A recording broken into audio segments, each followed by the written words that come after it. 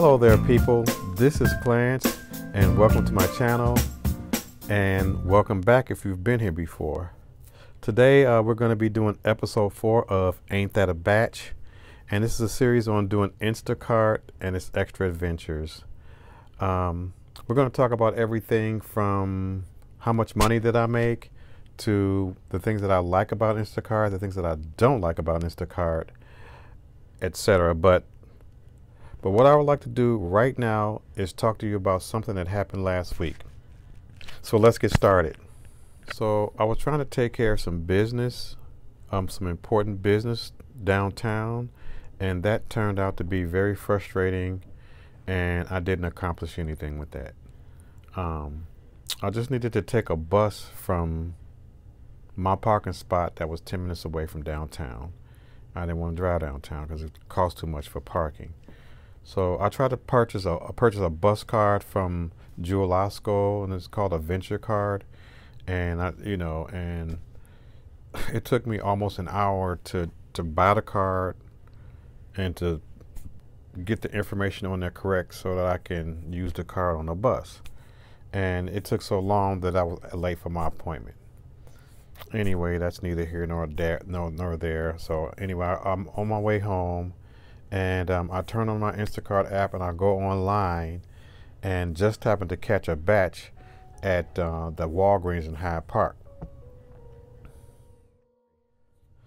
So it was a simple batch, and I tell you, sometimes I do not like simple batches. It was only three items body wash, some booty pampers for adults, and some Chips Ahoy cookies. Sounds simple, right?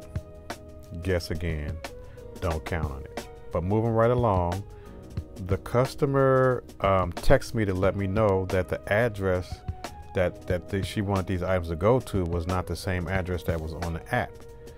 So um, she wanted to go about eight miles away from the Walgreens. So she's like, "How do I cancel?"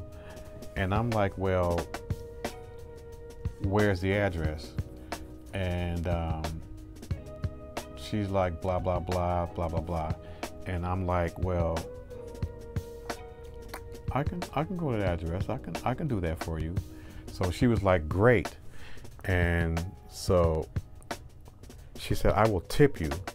And she didn't say how much she was going to tip me. I said okay cool.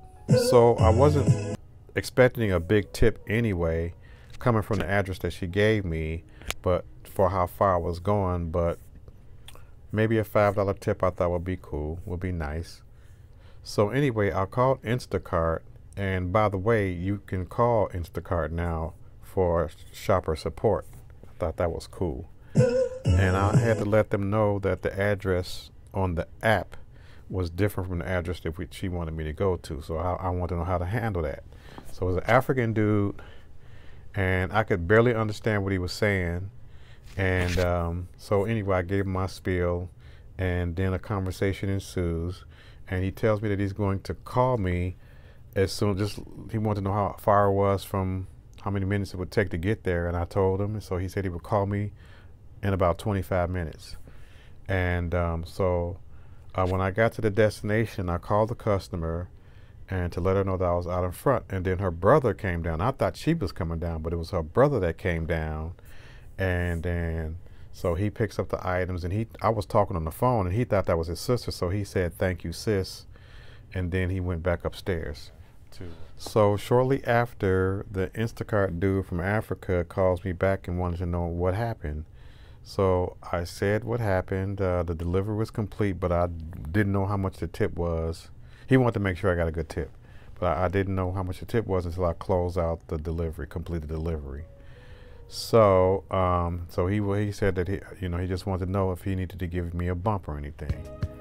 So, so like I said previously, um, I only expected about two to four dollars from this batch.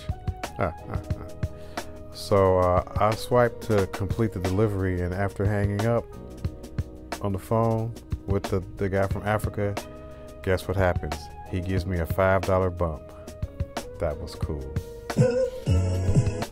Then a few minutes later, I um, I looked on the app to see if she had tipped me, and there was no tip. I was like, yeah, that batch lied. Ain't that a batch?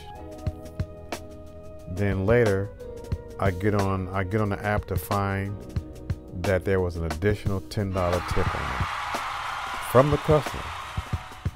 Glory hallelujah. and I was I was pleasantly surprised. And it just goes to show you if you just stay humble, just stay humble, you can be pleasantly surprised. So the batch was only about nine dollars and fifty cents. I got a five dollar bump and a ten dollar tip. That comes out to twenty-four dollars and fifty cents just for three items and eight miles. And the three bears lived happily ever after. So hey everybody, I hope you enjoyed the video. If you liked it, just say yeah yeah and press the like button. And if you want to get more involved, comment. And if you have a lot of nerve, you can even subscribe to this channel. So thanks for visiting and stay tuned for the next episode of Ain't That a Batch and Other Adventures later. And for all you people out there that's that's, that's in the S uh, SHU Side Hustler University, just one thing before I go, and that is let's get that bag, hustlers.